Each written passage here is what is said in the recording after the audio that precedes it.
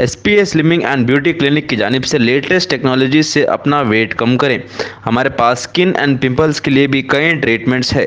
तो देर किस बात की? S P A and beauty clinic से अभी रबता करें। हमारा एड्रेस है beside Agarwal sweet house lane J N road Abids Hyderabad chairman A eighteen Telangana news Mohammed Azam Ali Hyderabad में घरेलू मुलाजिमा के ज़रिए मुबैना तौर पर अगवा होने वाले नौ माह के बच्चे को पुलिस ने चंद घंटों में बाजियाब करा लिया। शीरख्वार बच्चे को हफ़्ते की रात तकरीबन आठ बजे हैदराबाद के माडानापेट इलाके से अगवा किया गया था और इसे तेलंगाना के जहीराबाद से कुछ दूर ले जाया गया था। तफ्तीश के दौरान पुलिस ने सीसीटीवी फुटेज को स्कैन किया और शहनाज खान को देखा, जो बच्चे के घर में घरेलू मुलाजमा के तौर पर काम करती थी और एक क्लिप में बच्चे के साथ नज़र आई जहीराबाद में अपने हम मंसूबों को अलर्ट करने के लिए।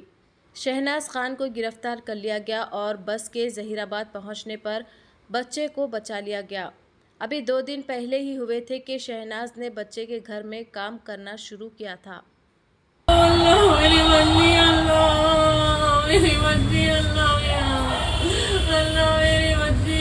डीसीएम के पीछे से सीधा जाने देता हाँ। सीधा सीधा जा रही वही नडल की गली है फिर आगे गली में मुड़ी क्या देखो? आठ बज के दस मिनट नहीं गली में नहीं ने सीधा जा रही अब देखो नहीं एक बार देखनी है वही।